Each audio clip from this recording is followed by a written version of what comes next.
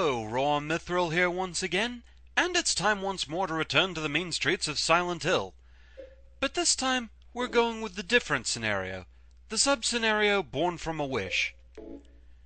This one, as you can see, does not have a riddle difficulty level, just an action level, so let's go ahead and stick with hard, just because.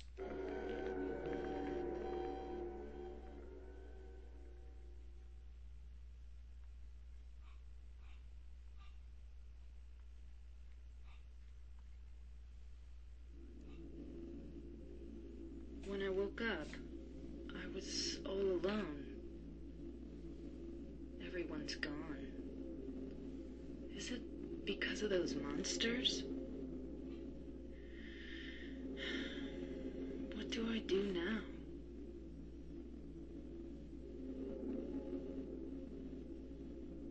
Do I fight and live? Or do those monsters get me? I don't have any reason to go on living. But. But I'm scared to die. I'm so afraid of pain. Should I run away?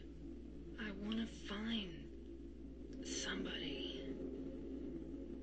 I don't like being alone. But. But is there anyone left alive?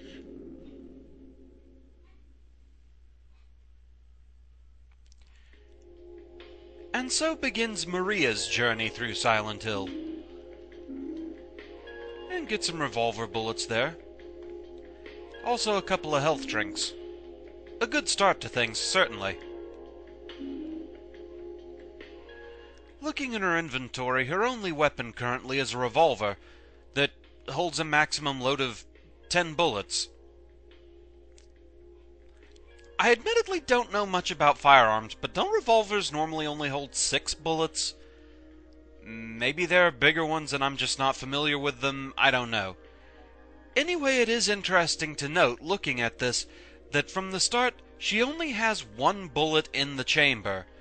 So, probably her thoughts before beginning her little trip were kinda negative at best. Let's go ahead and fix that.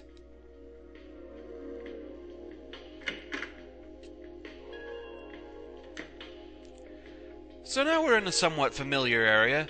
Maria begins her journey at Heaven's Night.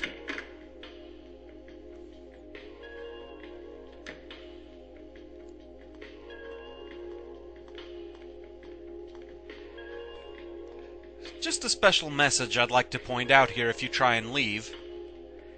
Isn't there a weapon besides this gun? I'm a little nervous with just this. I kinda want to point that out for later. Anyway, coming over here, we get a first aid kit, and also a Chinese cleaver.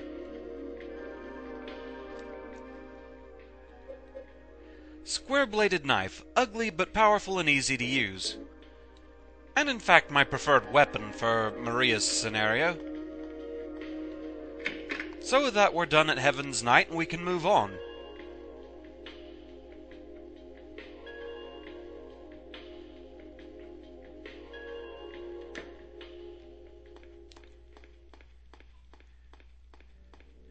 The reason I like the cleaver. Like the plank, she can run while attacking. Great fun is to be had.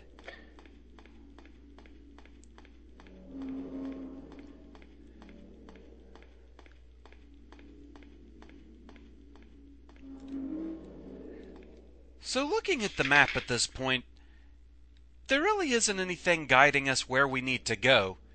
So the first part of Maria's scenario is kind of blind, really.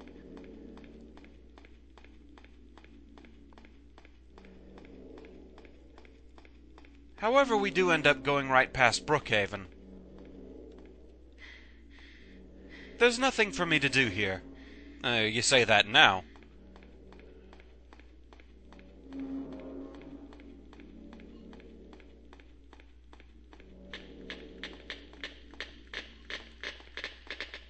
Of course, she does have enemies to contend with, and the lying figures are just as annoying as ever on hard mode.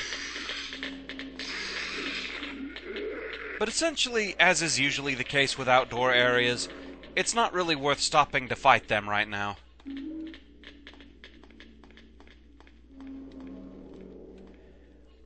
Oh, I'm used to the main scenario. I could have sworn there was something over there to pick up. Apparently not.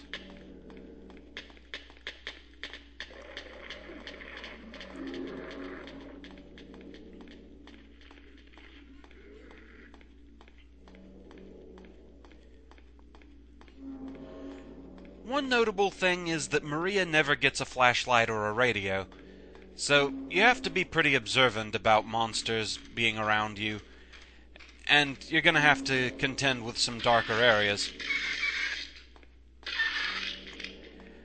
that just amuses me. The crawling lying figure up there, it can't get down to hurt you, so it's just silly.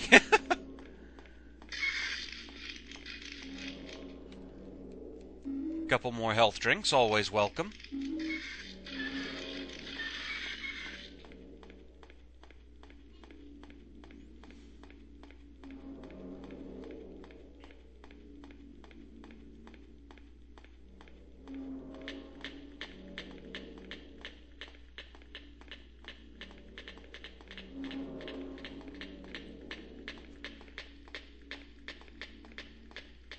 There are a fair number of goodies to obtain before going where you're really supposed to go.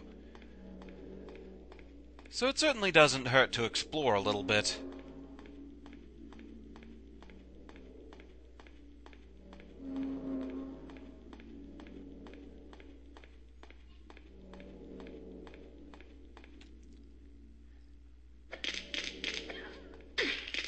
Oh, bad timing there, Maria.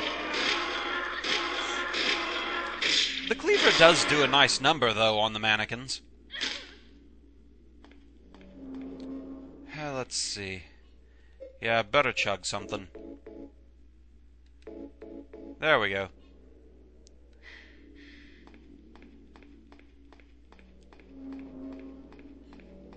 can be easy to underestimate the damage that's been done to you.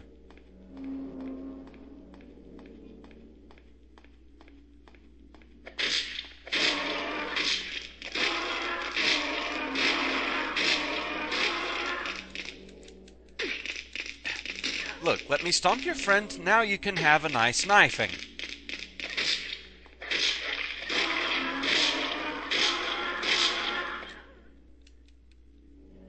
There now.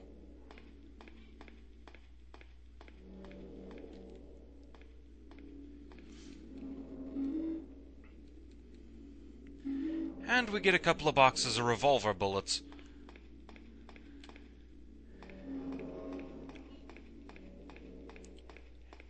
Essentially, with Maria's scenario, it seems like it's best to deal with mannequins with the cleaver and lying figures with the revolver. That seems to be a basic rule of thumb here. And even then, I find it best to not bother fighting too much unless enemies are right in the way of what you're getting out here in this street area. Once you get to the main area, it's more worth fighting. That's rather gruesome. And yet she has no reaction to it.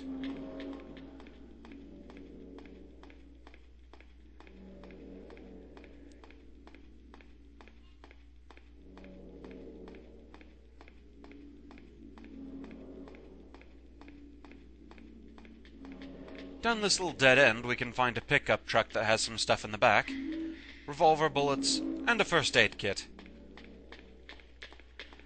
But we're close to our destination. This door here.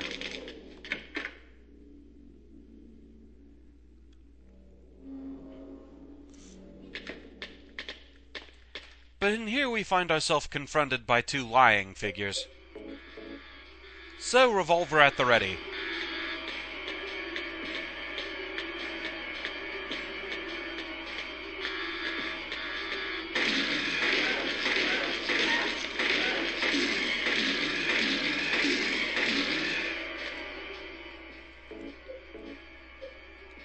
Have plenty of ammo thanks to Bullet Adjust.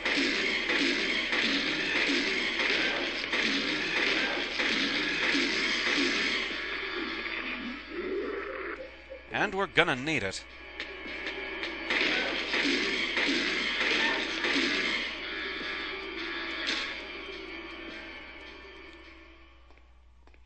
Pretty much that music is your only real indicator of how dead the enemies really are.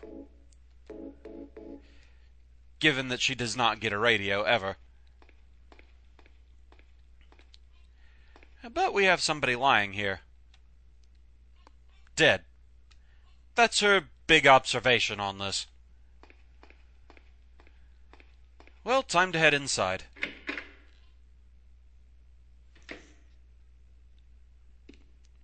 And so we find ourselves in a completely new area that isn't in the main scenario at all. Quite a fancy mansion.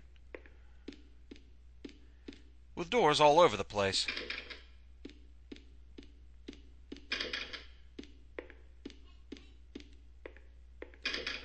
And we quickly run out of options. For the most part, Maria's scenario is actually pretty linear.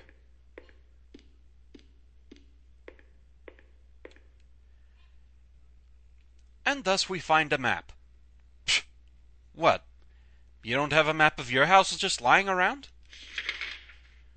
So here we are in the Baldwin house. So this is where they all live. All 50 million of them.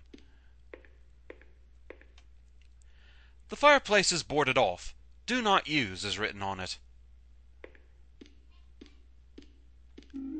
Another first aid kit. More ammo, always nice.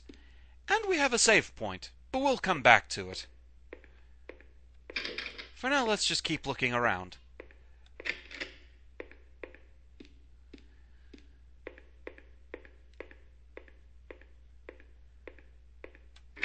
We can go this way.